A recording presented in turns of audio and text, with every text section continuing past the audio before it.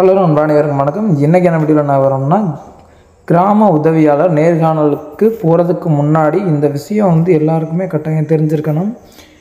இந்த விஷயம் தெரிஞ்சிருக்க வேண்டிய ஒரு முக்கியமான ஒரு விஷயந்தான் இந்த விஷயம் சொல்ல போகிறோம் அது எப்படி சேனலை சப்ஸ்கிரைப் பண்ணுங்கள் மறக்காமல் லைக் பண்ணுங்கள் ஷேர் பண்ணுங்கள் வாங்க வீடியோக்குள்ளே போகலாம் இப்போ பார்த்தோம்னா கிராம உதவியாளர் என்றால் என்ன? இது வந்து எல்லாருக்குமே தெரிஞ்சிருக்க வேண்டிய ஒரு கட்டாயமான விஷயம். இப்போ பார்த்தோம்னா தமிழகத்தில் வருவாய் கிராமங்களின் அதிகாரியாக உள்ள பிஏஓ கிராம நிர்வாக அலுவலர்களுக்கு கீழ் கிராம உதவியாளர்கள் நியமனம் செய்யப்படுகின்றன.